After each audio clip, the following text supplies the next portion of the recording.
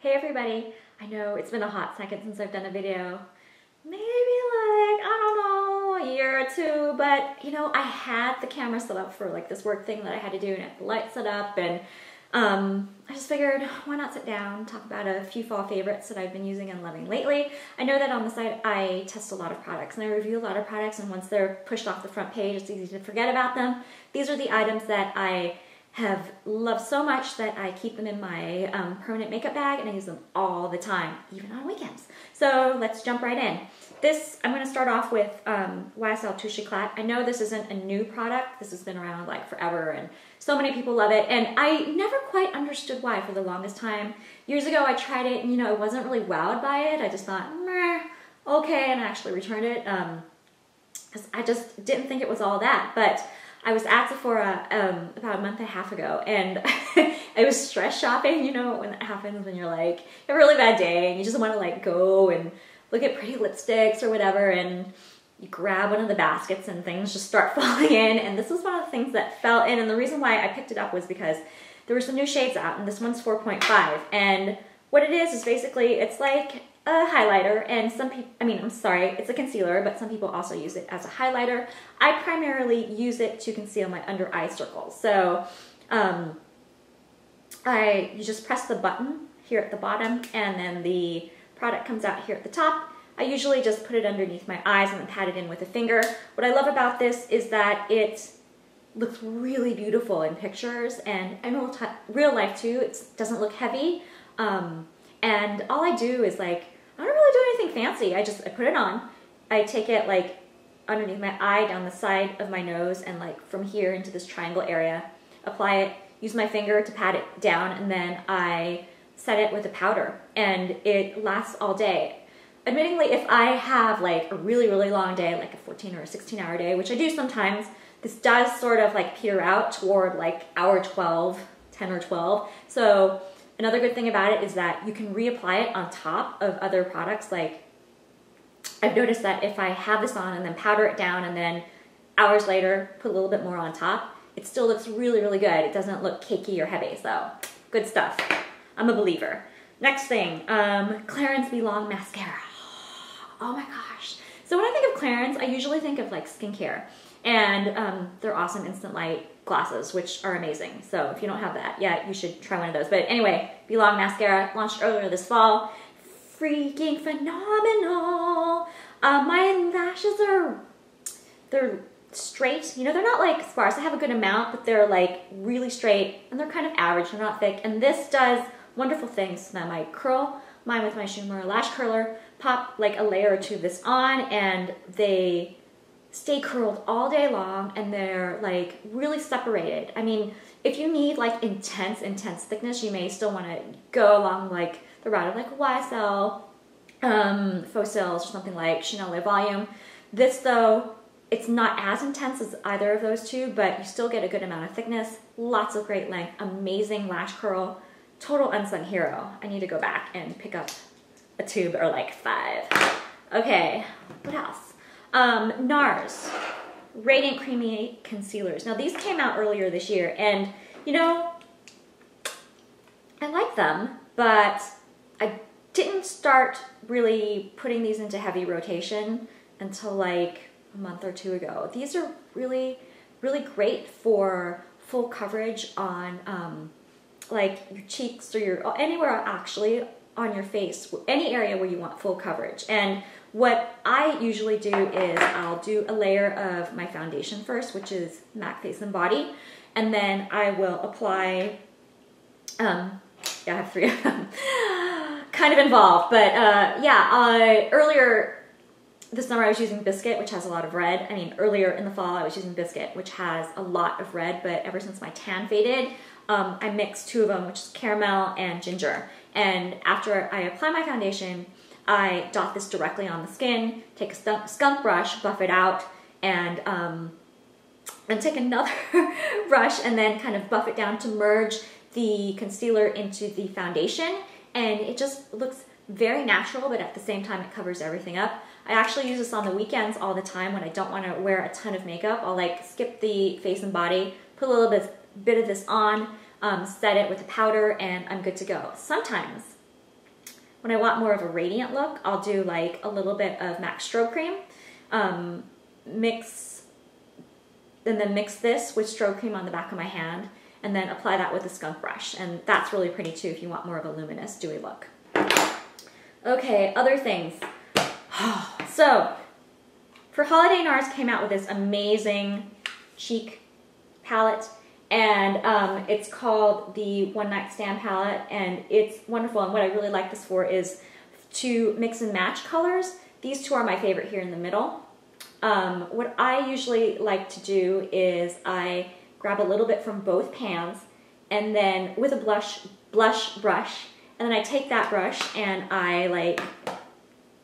Here, let me just grab. I have a powder brush right here. I'll just give you an example. Um, you take this and then that, and then you take whatever's on your brush and you press it in your palm and this kind of like works the powder into the bristles and then um, then I apply it on my cheeks. I learned this trick from Mark Reagan who's a phenomenal artist for Bobbi Brown. I went to a class of his at um, Saks Fifth Avenue and seriously like in an hour and a half I learned so much. I'll link him along with all these products down below and in the post um, just though in case you want to follow him on Twitter, he's he's really nice and he has a lot of like great tips. But um, yeah, so if you're ever gonna like mix colors like that, and if you're using like a powder brush, use these two things, work it in, and then apply it on your cheeks. And then um, what I usually also like to do sometimes is layer that on top of like a highlighter. Um, like there is a highlighter here in this palette as well that I'll do apply that first. Eee, it's making so much noise. I apply that first on my uh, like upper cheekbones and then do the blush mix on top. So that way there's just a little bit of the highlighter peeking through and it doesn't look super shiny. And um, I know, I just think it has this really nice radiance to it that you can't, you can't always get from traditional highlighters. That particular method is just, it's a really great way of getting some glow without making your face look overly shiny. So love that. Um, other things that I've been using lately. Oh, okay, so MAC's holiday collection came out earlier last month, and there are a bunch of like um, eye kits and face kits, and by far my favorite is Stroke of Midnight. Let me show it here. This one's so pretty, I love it. Um, this one has Mulch, Amber Lights, and Femme which is amazing. And then there are these two other colors here that you can use. I use this kind of like weird yellowy one. It looks strange in the pan, it's actually really pretty on as a transition color, and this like darker brown is really pretty as a liner. But anyway, what I love this for is mostly for mulch, um, which is a beautiful like shimmery brown, but the thing that I love about it is it's not too red, so if your skin tones, if you usually like to wear like warmer browns, um, like MAC soft brown or MAC saddle, but around winter time, uh, um, perhaps those colors may look a little too red on you. Um, mulch is a really pretty color to have around to like add a little bit of extra definition. I think it's really nice. And I also love um, Why can't I open this right now? Femme Femme right there. This is beautiful as a highlighter. It's like this golden, let me swatch it. Um, it's like this pearly sort of beigey gold. I don't know if you can see that. I hope you can. And it's really beautiful like in the inner corners or on the brow bones. If you find that it's too frosty, if you put it on the brow bone, you can always like apply it first and then um, pop like a matte on top of it. Like really, it's a good one. I do that one all the time. Or you can do something like vanilla. Okay, no, I'm talking really fast. I'm just trying to get a lot of information in. Okay, one last thing, uh, a few more things. Um, Guerlain, Guerlain, Guerlain. Sorry, not that I took three years of high school French or anything. My teacher would be completely mortified.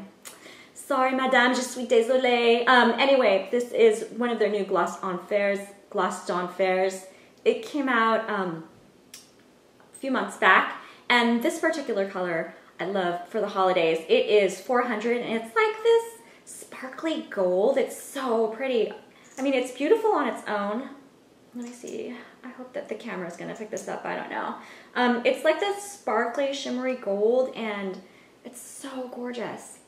Um, I like it on bare lips, but I also like it layered on top of other things like corals or like red lips looks phenomenal on. So really pretty holiday color. And the thing with it is that it's super glittery, but it doesn't have that grit, which is annoying. Um, it's also very hydrating and very comfortable. Um, if you like colors like MAC, Plushglass, and Nice Buzz, you'll probably love this. Okay, also from Guerlain, um, they have these, they came out with a nail line. Like they revamped their nail polishes and they came out with a bunch of nail products and they have this base coat and top coat. Oh my gosh, so phenomenal. Really, really great. I put this on, um, did an at-home pedicure a few weeks ago and uh, used like a color from OPI. And with these two things, um, with the base and top coat, I didn't get any chips for three weeks, so that's really great. Okay, let's see. One more thing, UD. Um, Urban Decay came out earlier in the fall with a new line of lipsticks. This one's, my, there's so many different colors, but this one's my favorite. Um, I'm wearing it right now, it's Naked, and it's just like a neutral pink, and I love that it's not like too, too pinky or too brown. I mean, I just think it's like a color that a lot of people can wear. And I wear it all the time, and this actually looks really pretty um, layered with this Guerlain gloss. Oh, Naked. Naked 3, Naked 3, Naked 3. Okay, since we're talking about UD, let me just mention this one more thing before um, I sign off. As you know, Naked 3 came out, or um, will be coming out later on this month, and here it is. And it's super pretty. I'm wearing it again. Today I wore it yesterday for the first time, but here it is. in all its rose gold glory. Um, this palette is so pretty, you guys. I mean, I love it mostly because of the colors, darker colors here at the end, which I think, oh, there goes the brush. Should be amazing for smoky eyes. Um, I know that a lot of the redheads on the site are going crazy. So if you happen to have red hair, uh, this might really suit you well. But really, I think it's going to suit almost everybody. Um, and I like that it's distinct enough from the first two Naked palettes because it's got all of the eyeshadows have this rose gold tone. Um, I'm wearing it right now. What colors am I wearing? I'm wearing Liar on the lid with a lip that's just this color here. Oh, so pretty. And then with Dark Side, like smudged along the lash line. So yeah, this is coming out later on this month. Um, UD hasn't given like a firm date yet, but you can sign up on their website to get the email notification for when it's going to be formally out. All right, so um, I think that's it for now. I'm actually really surprised that Tabs didn't come by. I swear to you, every time I turn on the camera, he'll like come into the room and then start crunching his food because his food is his food bowl's in this room, or he'll like jump up on my um, chair right next to me, or like jump up on the table behind me. I know he's really obnoxious, but I think he's upstairs taking a nap. So darn it! Hopefully next time you'll be able to see him. But thank you for watching, and I will see you soon. Bye.